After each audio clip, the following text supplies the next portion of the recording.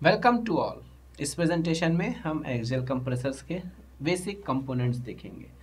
तो basic components तो इसके दो ही हैं रोटर और स्टेटर रोटर में क्या रहता है? मूविंग ब्लेड्स रहती हैं स्टेटर में फिक्स्ड ब्लेड्स रहती हैं। रोटर जब रोटेट करता है तो उससे जब फ्लूड पास होता है तो वो उसकी काइनेटिक एनर्जी बढ़ा देता है ड्यू टू इम्पल्स इफ़ेक्ट और साथ ही साथ रोटर में ही फ्लूड का प्रेशर एनर्जी भी बढ़ती है ड्यू टू डिफ्यूजन इफ़ेक्ट और जब हाई काइनेटिक एनर्जी से फ्लूड रोटर से पास होते हुए स्टेटर की तरफ़ जाता है तो स्टेटर क्या करता है? उसने जो काइनेटिक एनर्जी गेन करी, उसको वापस से कन्वर्ट कर देता है किसमें? प्रेशर एंगल में. ठीक? उसके बाद जो स्टेटर है स्टेटर से निकल गया ये तो पहली स्टेज कंप्लीट हुई। अब स्टेटर ने क्या किया? काइनेटिक एनर्जी को पोटेंशियल एनर्जी में तो कन्वर्ट कर दिया। अब स्टेटर से निकल के उसको क्या जाना है?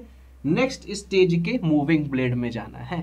तो स्टेटर का एक और काम रहता है, वो क्या करता है? साथ साथ प्रेशर तो बढ़ाता ही है, लेकिन एग्जिट में वो एक सुटेबल एंगल प्रोवाइड करता है, जिससे वो next row of moving blades में स्मूथली एंटर कर सके एक्सियल डायरेक्शन में। तो स्टेटर का ये भी एक काम रहता है।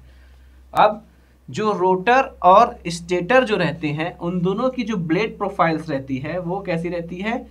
डाइवर्जिंग सेक्शन की रहती है।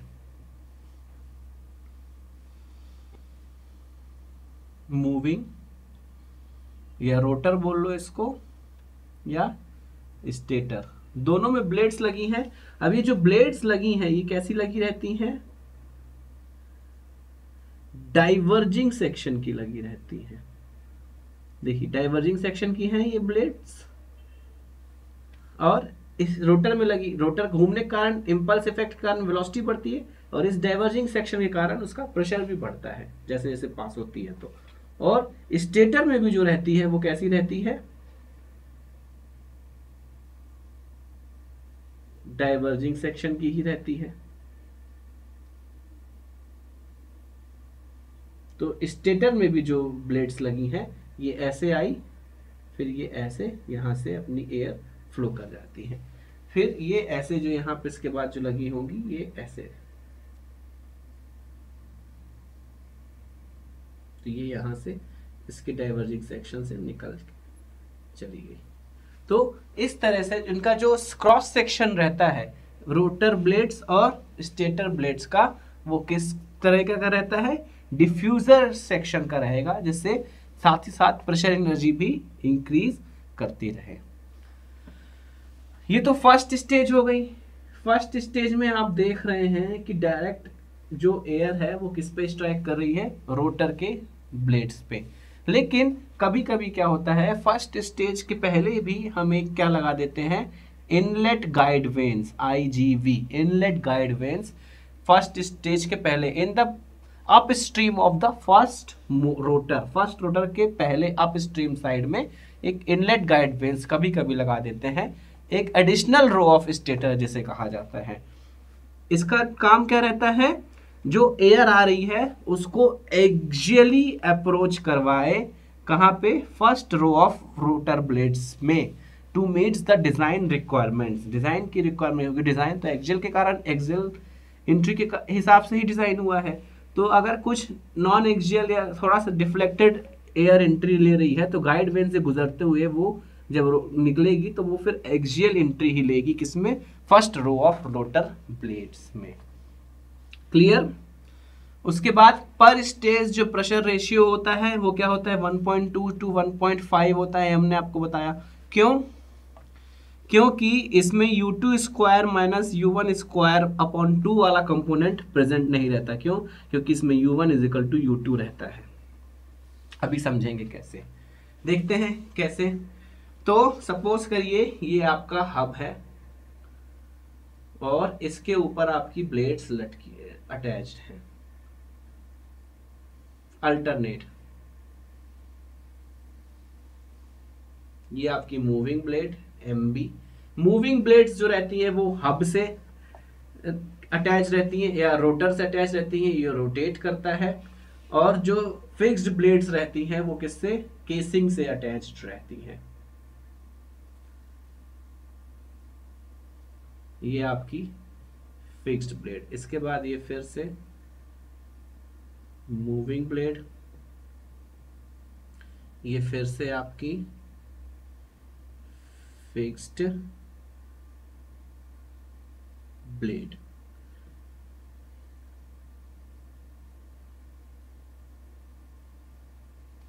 मूविंग ब्लेड और ये यहाँ से फिक्स्ड ब्लेड देख सकते हैं आप कंस्ट्रक्शनल डिटेल्स कैसी है। जो हब है या रोटर है, उससे मूविंग ब्लेड अटैच्ड है और जो केसिंग है, उससे कौन सी ब्लेड अटैच्ड है आपकी? फिक्स्ड ब्लेड अटैच है। थोड़ा सा और ध्यान से देखते हैं यदि। ये एक्जल फ्लो कंप्रेसर जो है very similar to Kaplan turbine जो अपन ने थर्ड यूनिट में पढ़ी वाटर टर्बाइन में। बहुत ही सिमिलर रहती है कैप्लान टर्बाइन से।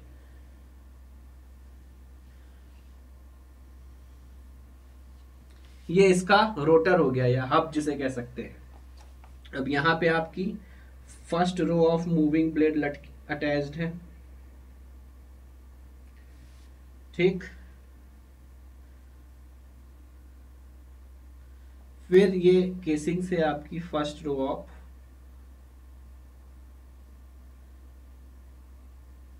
fixed plate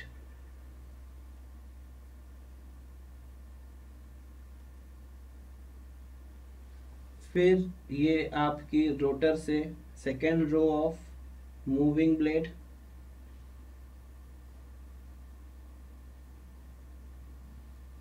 ये केसिंग से आपकी second row of fixed blade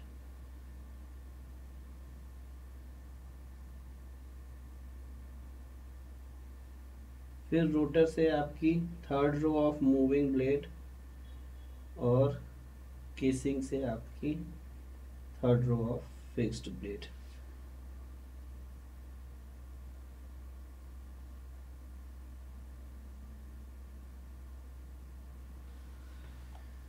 अब इसमें देखने वाली बात यह है कि जो हाइट ऑफ़ ब्लेड्स है height of blade is decreasing from inlet to outlet air जो आई वो यहाँ से इनलेट आई अपनी आप की पूरी। इनलेट से आउटलेट तक और यहाँ से एयर ऐसे आपकी निकल गई।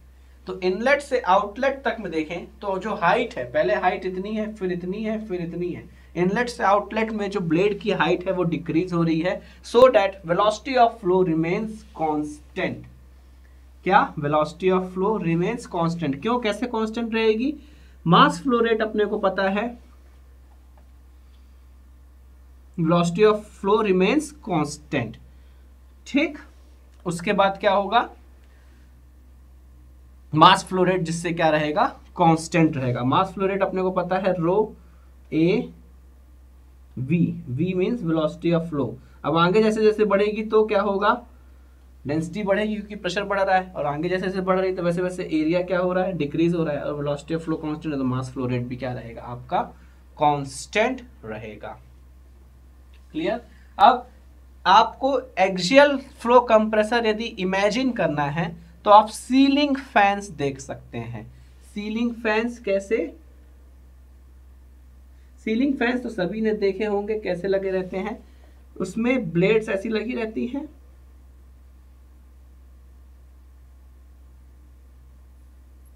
और ये ऐसे ऐसे घूमता रहता है अपना, और एयर यहाँ से इसमें स्ट्राइक कर रही है। तो जो सीलिंग फैंस अपन देखते हैं, अपने सीलिंग्स पे लगे रहते हैं, उसमें ब्लेड्स उसके हब में लगी रहती हैं, और एयर उसके ऊपर से आते नीचे आपके एक्सियल एंट्री रहती है और एक्सियल एग्जिट लेती है और आपको लगती है। तो जस्ट लाइक डैट और यहाँ पे इसकी ये आप शाफ्ट बना सकते हैं, जिसमें ऊपर ये एक्सियल लगा रहता है। तो इमेजिन करने के लिए आप सीलिंग फ़ैन का एग्ज़ाम्पल ले सकते हैं, जिसमें सीलिंग फ़ैन की तरह ये अपना रोटर है, इसमें ब्लेड्स लगी हैं, यहाँ से आ रही हैं और ये घुमा रहा है, उसकी एनर्जी बढ़ा रहा है और एक एक रोज से ये पास आउट हो रही हैं। फिर देखते हैं इसमें mass flow rate area of flow कैसे निकालते हैं। एरिया ऑफ़ फ्लो निकालने के लिए थोड़ा सा और डायग्राम देखते हैं।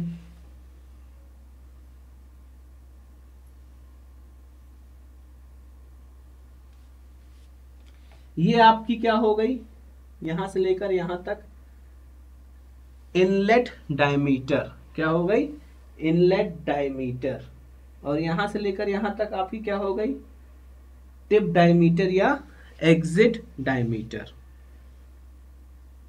ये यहाँ से लेकर यहाँ तक, ये हब के अराउंड डायमीटर है तो इसको इनलेट डायमीटर या हब डायमीटर आप कहेंगे। और ये ब्लेड की टिप तक की डायमीटर है तो इसको टिप डायमीटर कहेंगे। और यहाँ से यहाँ तक की ये जो डिस्टेंस हो गई, ये क्या हो गई आपकी? ब्लेड हाइट तो इसमें मास फ्लोरेट कैसे हो रहा है? इसी के अलोंग मास फ्लोरेट हो रहा है तो एरिया कितना मिल रहा है अपने को? एरिया अगर इसकी हम मीन डाया निकालें तो मीन डाया कितनी निकलेगी? D T plus D H upon two ये क्या हो गया? मीन डाया मीन डाया मतलब ये, इसके मान लीजिए, ये आपकी कितनी आ गई? मीन डाया आ गई। मीन डाया तो पाई डी इंटू एच से मल्टीप्लाई कर दें हाइट से तो अपने को क्या मिल जाएगा?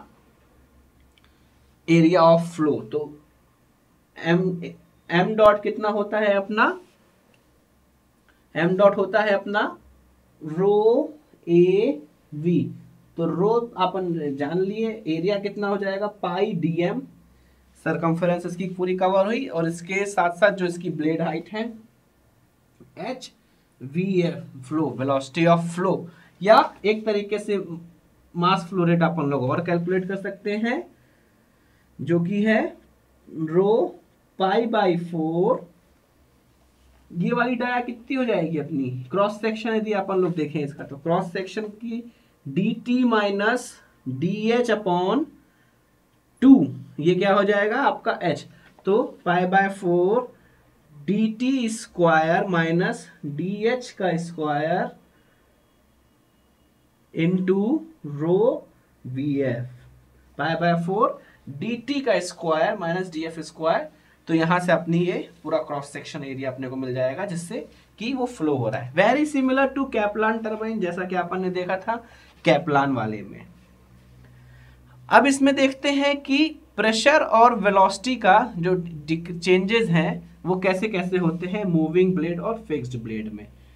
तो ये मान लीजिए मूविंग ब्लेड ये फिक्स्ड ब्लेड ये मूविंग ब्लेड ये fixed blade moving blade fixed blade moving blade fixed blade and so on तो प्रेशर जो रहेगा, वो क्या होगा? बीच में डिवाइड कर लेते हैं, एक जगह प्रेशर प्रेशर जो रहेगा मूविंग ब्लेड में भी इंक्रीज करेगा फिक्स्ड में भी इंक्रीज करेगा, फिर मूविंग में इंक्रीज करेगा, फिर फिक्स्ड में इंक्रीज करेगा, आपको पता है। वेलोसिटी जो रहेगी मूविंग ब्लेड में तो इंक्रीज कर गई वेलोसिटी फिक्स्ड ब्लेड में क्या हुआ? जो वेलोसिटी मिली, उसी वेलोसिटी को अपन ने किसमें कन्वर्ट कर दिया प्रेशर में। फिर मूविंग ब्लेड में आए तो वेलोसिटी इंक्रीज हो गई। फिर फिक्स्ड ब्लेड में जो वेलोसिटी मिली उसको कन्वर्ट कर दी प्रेशर में। तो इस तरह से वेलोसिटी डायग्राम आपका रहता है। वो वेलोसिटी डायग्राम नहीं प्रेशर और वेलोसिटी का variation in moving and fixed blade आप देख सकते हैं। सो so, एक चीज़ और इसमें देखने वाली बात है कि जो डिक्रीजिंग हाइट है ब्लेड की उसके कारण से जो थ्रस्ट जनरेट होता है एक्सियल थ्रस्ट वो न्यूट्रलाइज हो जाता है, क्योंकि मास फ्लो रेट अपने को कांस्टेंट मिल जाता है इस तरीके से। फिर अपने को पता है, इसमें वेलोसिटी ऑफ़ फ्लो अपन कांस्टेंट लेते हैं। ये सारे पैरामीटर्स मैं आपको यहीं पे क्लियर कर दे रहा हूँ, जिससे न्यूमेरिकल करने में आपको कोई भी दिक्कत ना हो। ठीक? सो आई होप आपको एक्सेल कंप्रेसर्स के बेसिक कंपोनेंट्स क्लियर हुए होंगे। Thanks for paying your attention